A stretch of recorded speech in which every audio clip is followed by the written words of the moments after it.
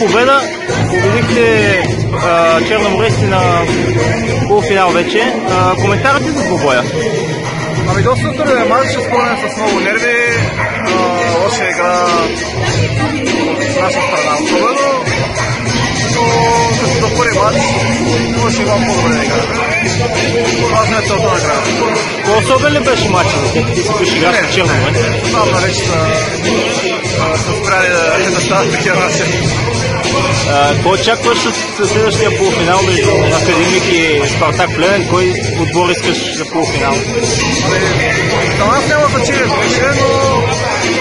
надявам се да стане малко по-агресив матчът към отношение.